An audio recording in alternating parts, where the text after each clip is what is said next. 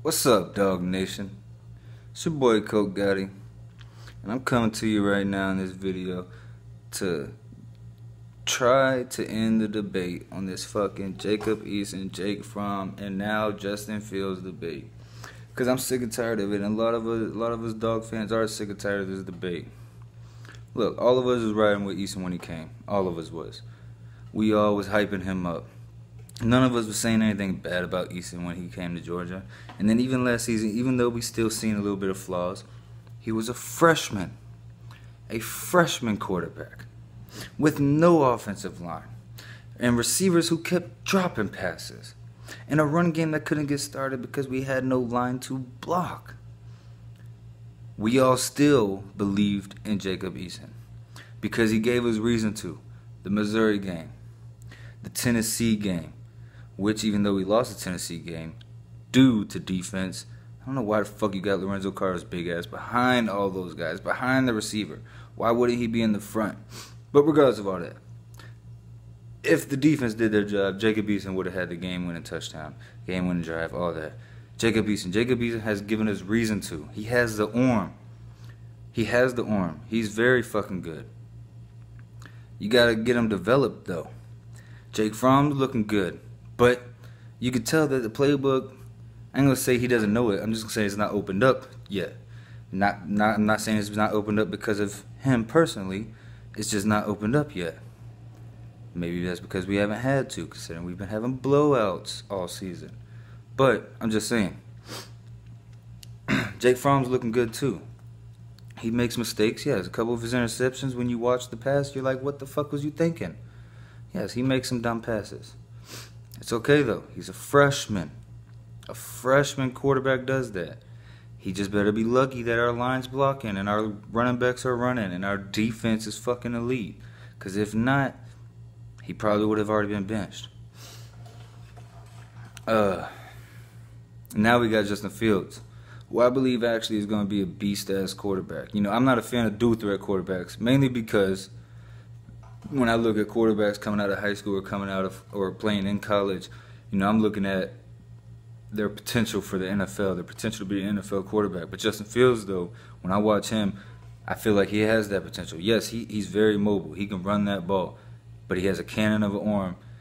And from what I've seen, you know, he's a pretty smart passer. We'll see when we get to the next level. And, you know, as a freshman, I wouldn't expect him as a freshman to be able to come out here and looking like a pro. Freshmen make mistakes. You have to develop a quarterback. But I'm pretty sure, I, I, believe Justin Fields will get developed to a great quarterback and be one of the greatest quarterbacks ever played at Georgia.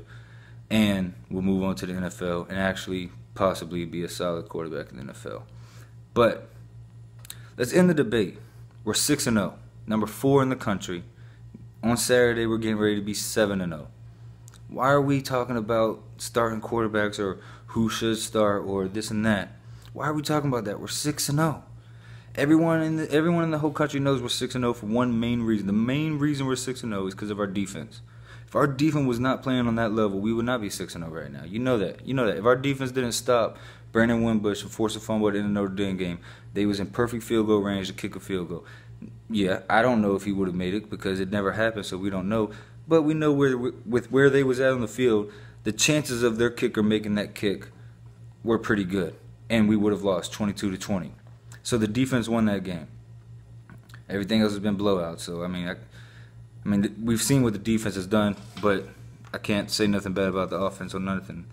But the defense is what is winning. That's why we're six and zero. The defense, point blank, period. The defense and the fact that we have a run game this season. But the defense number one. There's no need to talk about Fromm, Eason. It don't matter. I don't care if they went and got Steve Spurrier right now at his age right now. I don't care if they put him in there, even though he's a Georgia Bulldog hater, hater and he's a fucking Gator to the to the fucking core. I don't care if they would put him in there. If we're six and zero oh and number four in the country and playing like how we're playing, I don't give a fuck who is playing at what position. They're doing their fucking job, and that's all that matters. That's it. That's it. That's all that matters. Let's stop talking about fucking Fromm or Eason. Let's stop talking about Fields coming in next year and any of that blasphemy about another freshman quarterback coming in and beating out two experienced quarterbacks for the starting job of what is soon to be the SEC East champs, possibly, in my personal prediction, the SEC champs starting quarterback job. Fields is not doing that.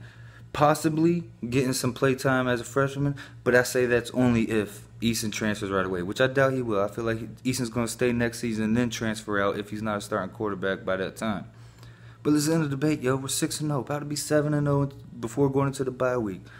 Let's just let's just let's just enjoy this while we while it's riding. Let's enjoy this ride while this motherfucker's moving because we all remember how last season went, yo. Go dogs.